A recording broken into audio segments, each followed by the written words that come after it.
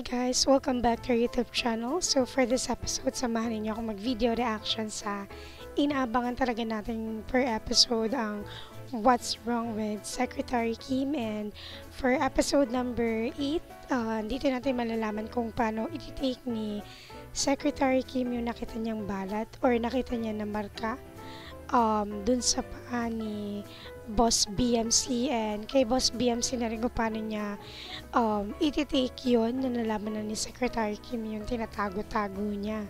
So, sobra exciting to guys kasi dahil um, talaga namang napaka-private na tao ni boss ni BMC. So, lahat ng yan abangan natin ngayon. And sa mga hindi pa nakapag-subscribe, huwag kalimutang mag-subscribe, like, comment, and hit the notification bell for more updated videos. Kaya let's go, samahan niyo ako. Tara! Si Galo. He's at work. Wala akong magagawa kung ayaw ko harapin ni Brad. Hindi biro yung pinagdaanan. Give him. Sa Kim! Boss? Sino naglagay niyan dyan? Miss Kim, sorry po talaga. Okay lang, sige. Basta next time, no more cable ties anywhere near BMC, okay? Pati ka pa naka-uniform, kala ko maglalaro I ka. don't like games. Oh, hindi ka pa naglalaro, mukhang dehado ka na. Magkaharap ang Executive Support Squad versus President's Pride para sa laro Luksong Baka. Secretary Kim, let's go! Boss, lalagyan lang po natin ng cold No, compress. the sock stays on. Dapat nga po eh. Kaya sabi niya, the socks stays. I shouldn't have done that. Ah, s- sorry, boss. Concern lang po ako sa inyo. Well, don't be because I'll be fine. I just want to go home. Sige po, tatawagan ko na lang po si Kuya Baldo para may umalalay po sa inyo. There's no need. Uh, just tell him I'll meet him outside. Eh, paano po kayo mga kalakad niyan? Well, obviously I can't, but you can. Ah, sige. Hayaan mo na sila wala na trabaho. Hmm, di ba? Oh, tataganin mo yan. Ka na. Damo nila yung kotse. Samahan kita. Let me just change my clothes.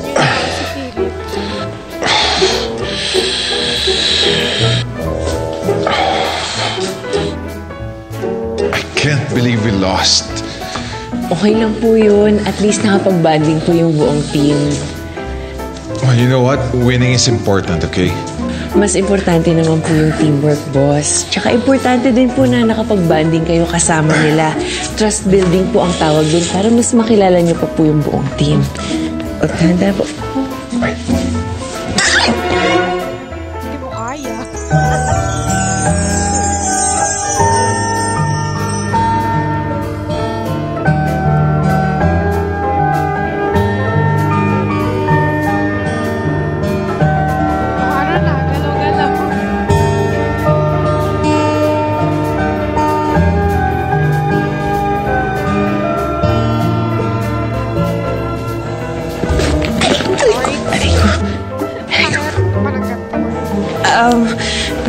Tumatawag po. Ah, ate, ate ko, sakit ko lang. Oh my God. Epic. Hello?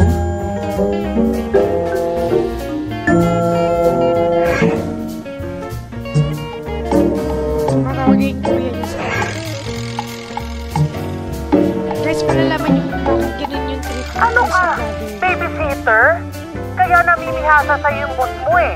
Eh, anong oras ka ba uuwi? Naiwan ko yung makeup kit ko dito sa apartment mo eh. Ah, sige ate, ipapahatid ko na lang yung makeup kit mo. Baka ka mo ng uwi. O basta, i-elevate mo yung paa ng boss mo. Above the heart level. And don't forget the cold compress ha. 15 minutes yan. 4 to 8 times a day hanggang mawala ang swelling. Tapos pagkatapos niyan, eh iwan mo na yung boss mo. Oo nga! Sige ate. Okay, basta ingat kayo ha. Okay, bye-bye. Ba yan? Meron pa naman ako rampa tonight. Hindi ako makakapag-makeup. Uy! Uy! Troy! Ano padaan ka? Anong kailangan mo? Good evening po mga ate. Um, actually, papasok ko lang po sana yung mga pina-research sa akin ni Kim. Kaya lang wala siya eh. Nasa work. Gusto, gusto mo iwan mo na lang. Yeah, sige. Nagmamadali rin po kasi ako. Um, have a good night po, mga ate. Good night. Thank Good you. night. Ingat po. Ingat. Bye, ingat. Ate, pawisin nga siya, ano? Nakita ko lang. Marinig ka pa, marinig ka Yung pa. Kelly niya, Nakakahiya. parang ano, nakaikot sa ano eh. Anong Kelly? Kelly, Kelly. Mari mo sinasabi. Ate! Ano mo? Patingin nga ano ba yan?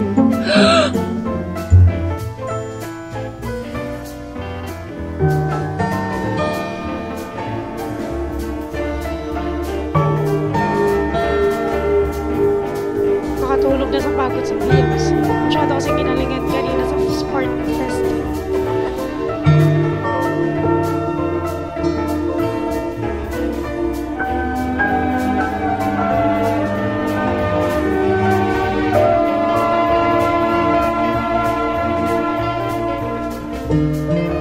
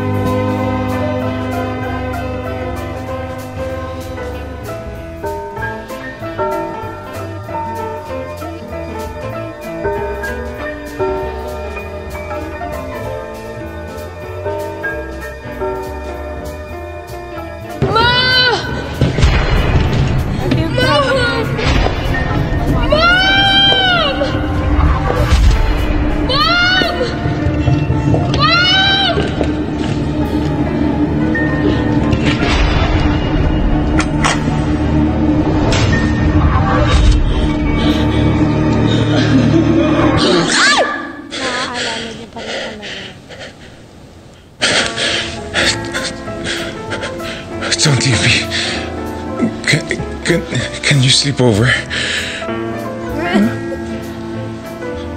I don't want to be alone.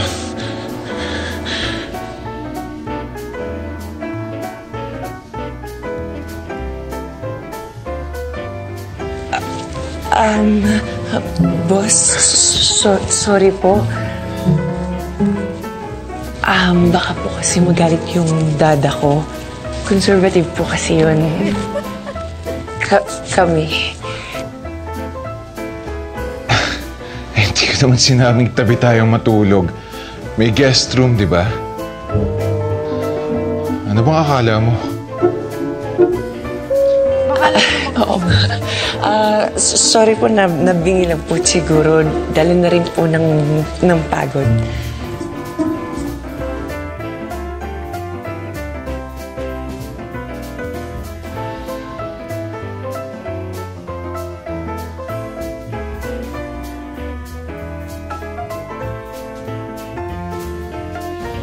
May utos pa po ba kayo? You can just tell Baldo to bring you home. Ay, hindi, wag na po. Mas kailangan niyo po si Baldo dito para may mag-monitor po sa inyo.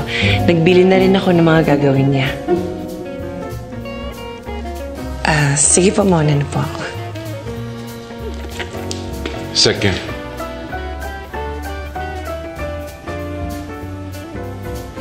Boss, Nothing. Good night. good na. Thank you. Ah, marunong mo pala mag-thank you.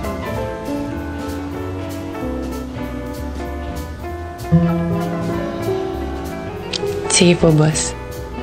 Good night.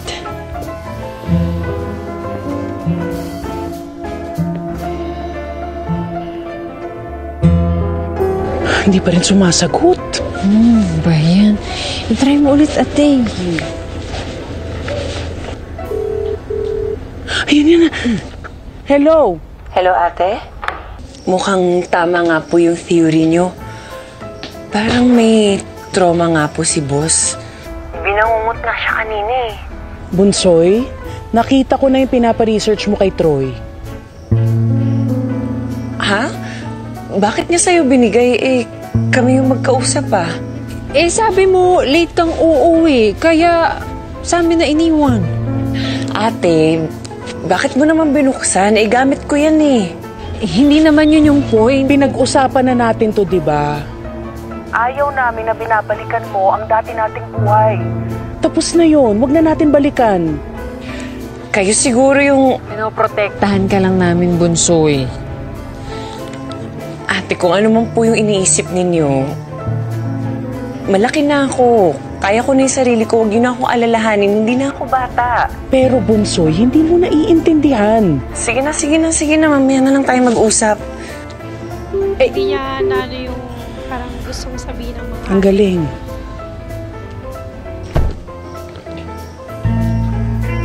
Oh, si Sayo. Sir Cyrus?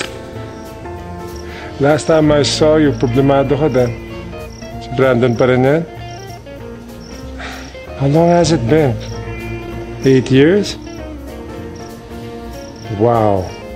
Bihira ang tumatagal sa kapatid ko ng ganyang katagal. Buti na tiis mo siya. Wala naman po kasing boss na perfect. Wow. I bet Brandon would disagree. Ah, sige po, Sir Cyrus, muna na po ako. Andyan na rin po yung ride ko eh. Welcome back. It was nice seeing you. Secretary Kim. Sige po.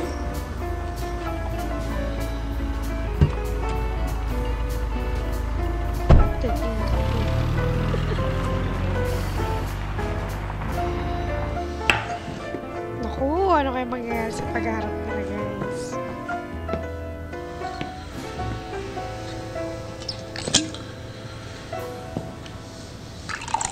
Iiwasan mo ba ako? There's a reason why I'm ignoring your calls. Come on, Brandon. Nagpunta ako dito to talk. What's there to talk about? Tapos na yun. Tapos na. Pero yung galit mo, Hindi pa. dyan pa din. What do you want? I want us to move on from the past. You don't get to decide that. We're done here. Show yourself out. Kasi guys, alam niyo ba na hindi mangyayari kay Brandon yung nangyari sa kanya nung bata pa siya kung hindi dahil sa kanya din. So we'll get to know more about it on the long run. Understand where he is coming from.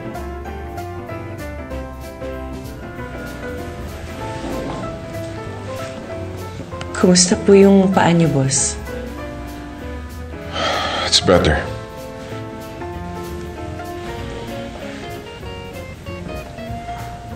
Nakatulog po ba kayo ng maayos?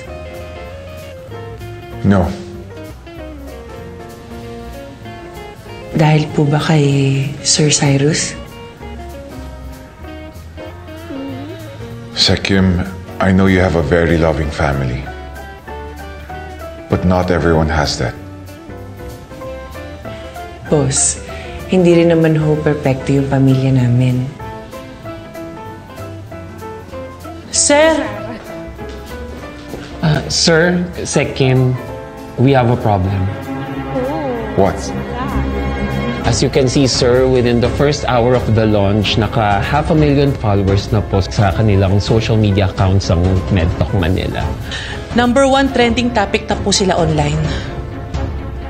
Eh di mag counter PR campaign tayo online. Ah, ah, what if po, gawin natin visual yung content natin. So, 70% video, 20% graphics, and 10% text para lang ma-optimize si algo. Uh, Gen Z, chill. We have bigger problems than that. Nasulot po ng JMY Corp ang speaker natin para sa IDX. Ano? Paano nangyari yun? Sandali tawagan ko. That's irrelevant. They have the ball now.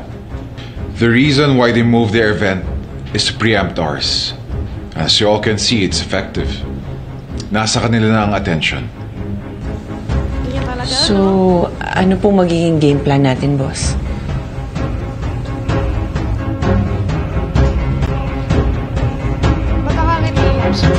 Let's move our event. Two weeks ahead of schedule. Ah? Two weeks ahead. For real, boss? Eh baka hindi po kayanin ng marketing team yun. It's fine.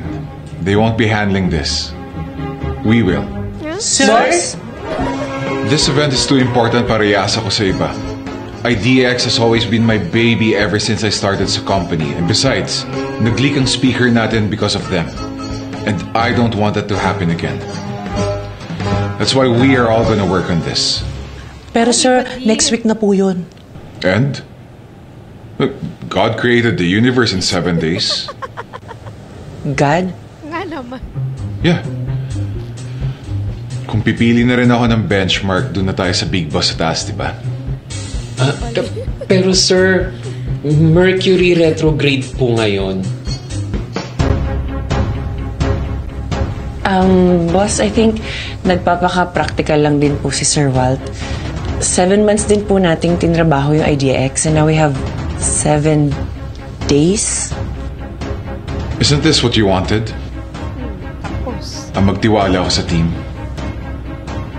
So this is me trusting each and every one of you to pull this off. Wow, perfect. Walang mangyayari. Copy, boss.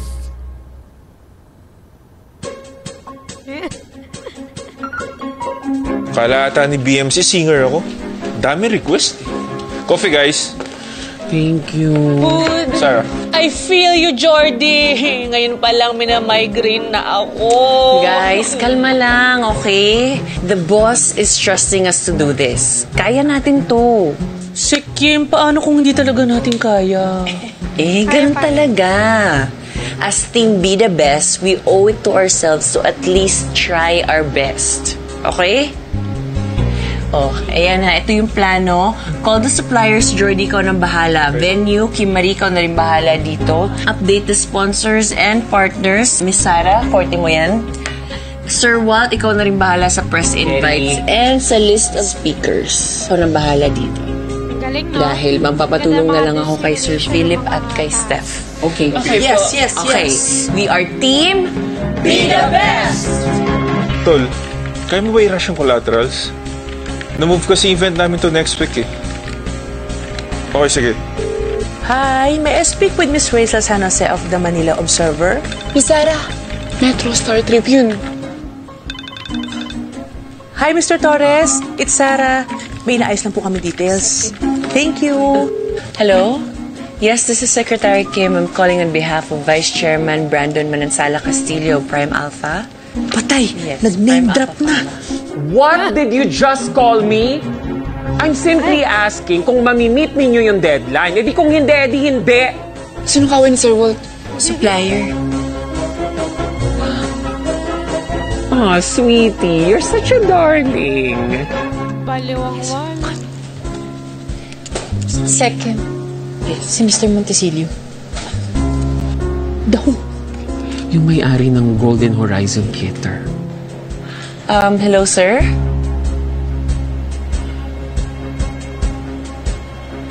Ah, sige po. Guys, hindi pa daw available yung venue. Under renovation pa daw sila. Masyado daw tayo napaaga kaya hindi nila tayo ma-accommodate. Paano yan? We'll call him again. And tell him I'm on my way. Sige po. Ingat po, Sekim. Okay na. Tawagan niyo ulit. Baba kasi kayo nakapuntok na. Pasensya na, Mr. Castillo. I have to turn you down. Ayoko mapahiya kami sa inyo. Mr. Montesilio, mukhang patapos naman na po yung renovation nyo. Well, yung electrical system kasi namin na naging problema. Madalas nag-overload yung main distribution panel. At sa ngayon, hindi pa namin matukoy kung ano yung cause. But your people are working on it, right? Yes, of course. But unfortunately, understaff ako sa ngayon. At kahit 24-7 ko silang patrabahuin, imposibleng umabot kami sa deadline ninyo. Mr. Montesilio, what if Mag-add tayo ng manpower. I bring in additional people para tumulong sa mga kailangan ng venue na to? And you don't have to worry about additional expenses. Sagot ko na yan. I'll check with the engineer kung kaya. Please, I'll wait. Thank you. Excuse me. Ganda ng theater, no?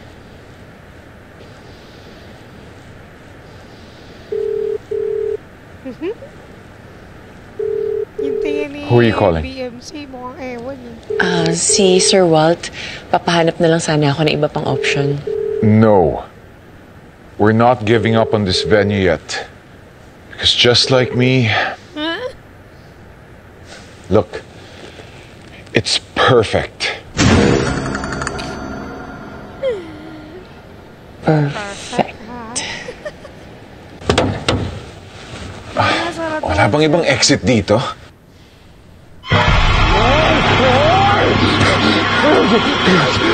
Boss?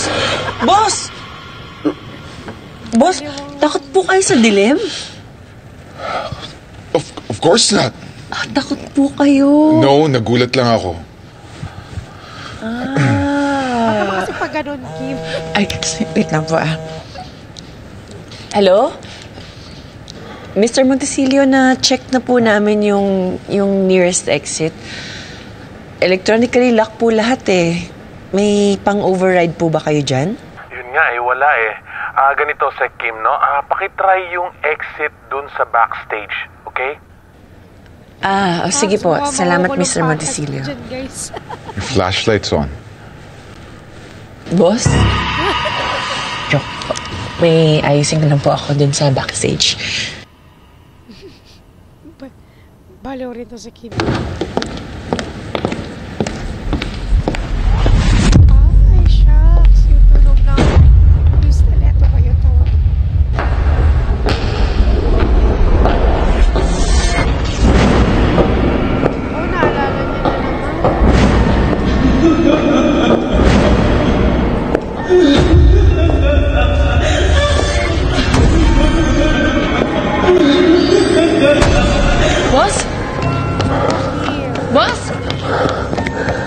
Boss?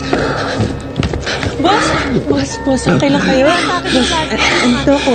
Boss, it's okay. I'm here. I'm here. Relax. Relax, okay?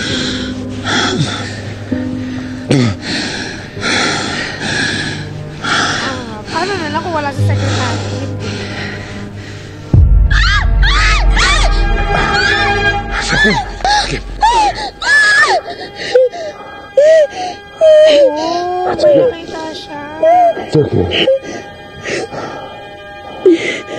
Ano yun? Ah, ano po? Takot siya, guys. It's gone. It's gone. Okay? It's gone.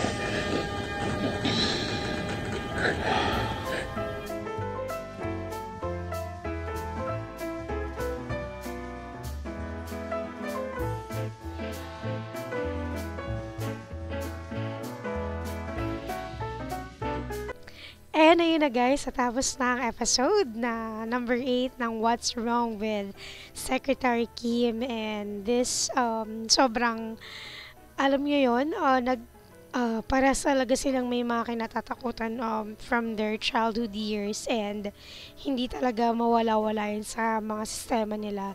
Just like BMC, marami siyang bagay na kinakatakot. And eto naman si Secretary Kim and ah, takot din talaga siya sa mga web, guys. Kahil, dahil nga sa mga nangyari sa nakaraan. So, malalaman natin yan, guys, kung bakit.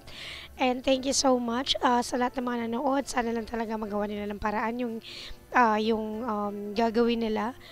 Uh, since they are um, making it like two weeks in advance than the original scheduled.